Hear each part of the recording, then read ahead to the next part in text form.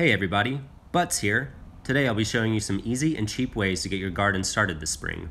Suggested wear, long sleeves, jeans, or other kinds of pants. For the love of God, please wear sunscreen people, closed-toed shoes, and of course gloves. Here are some materials you need to get started. First, find some cardboard.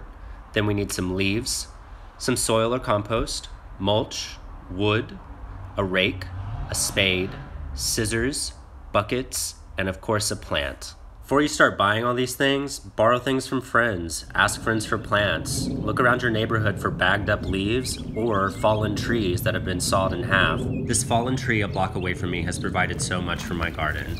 I use it in my compost, in my beds, I use it for firewood, and it's all been free. Once you have everything you need, we'll need to find a place in the yard to plant something. For me, I'll be using the alleyway behind my house, which is south facing and gets a lot of sun. Obviously, you can see there are a lot of weeds here. I'm not going to be pulling them all up though. This is easier than you might think. So let's get started. So I want to plant right here, and obviously there's a lot of overgrown weeds. I'm going to do selective weeding, um, leave some of these things that have flowers because pollinators like them. So I'm going to take the grass that I want to get rid of, or the weeds, and then I'm just going to cut right at the base. And then when you're done with that, just toss it right back down. I do this for a few reasons. One, I don't have to use lawnmowers or weed eaters, which use fossil fuels and destroy the hidden ecosystems of these environments. Two, leaving the roots in the soil prevents soil erosion from wind and water and also keeps the subterranean organisms undisturbed. Three, throwing the nitrogen rich material back down, followed by our next step of mulch, will eventually turn it back into soil. We're gonna take our leaves, kind of spread them out. After you lay the leaves down, go ahead and lay your cardboard down. Make sure you remove any metal staples that might be in it or any adhesive or plastic.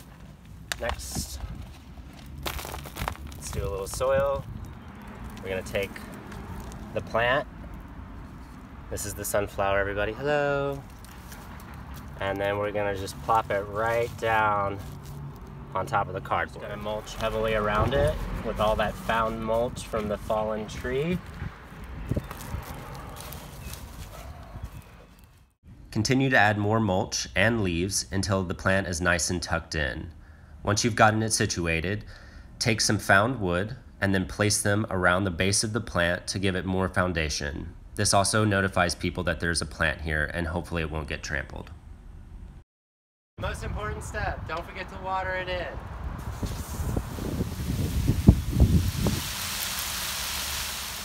Now I'll take you to my front yard and show you how to make a bed there. If you want to apply that same method to a bigger spot, take those leaves you got from your neighbors who bagged them all up for you, put them down in the area that you want, then lay your cardboard down, find some weights, and then take wood that you have, also found from neighbors or your own yard, and make a barrier, and you have a bed. I'm using both of these methods around my yard. It doesn't look like much now, but hopefully by summer they'll be more full. I'm planting herbs, pollinators, native plants, hopefully things that will come back on their own so I have to do less work. A couple things to remember as you get your garden started. Avoid the use of pesticides, herbicides, lawnmowers, and weed eaters. Two, don't get discouraged if things don't work out. It'll be a-okay, and there's plenty more opportunities. Three, work and share with friends as much as possible. This means time, money, resources, energy, knowledge, all of it. Um, good bonding experience too. And four, most importantly, have fun.